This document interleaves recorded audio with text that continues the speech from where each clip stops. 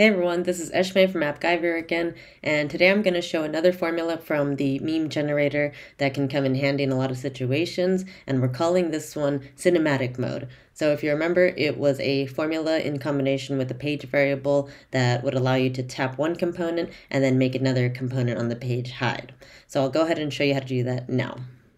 So if you remember from our meme generator tutorial, we tapped the final meme and made the other components hide, but I can go ahead and demonstrate it here just using an image and a button.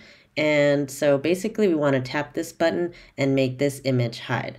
And so the first thing we'll do is create a new page variable under variables. And we'll call this one, again, cinematic mode, or you can call it whatever you want. And let's change the value type to true false. And then save. Now we want to bind that button to that page variable in the logic. So open up the logic canvas and drop in set page variable and connect it.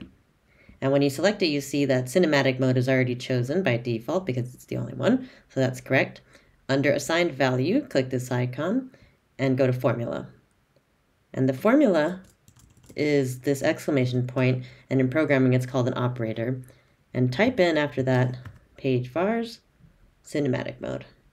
Enter, save, and then hit save. Now we just want to bind that same page variable to the image. So select the image and under properties, go down to advanced and under visible, select this icon and go to formula and it's the same formula. Exclamation, page vars, cinematic mode. Enter and save. So now basically if we tap that button, the image should hide. Let's go ahead and test it out. Hide the unicorn. And now it's hidden. and if you tap it again, it's back. There you go, using cinematic mode, formula, and a page variable to make components hide and come back.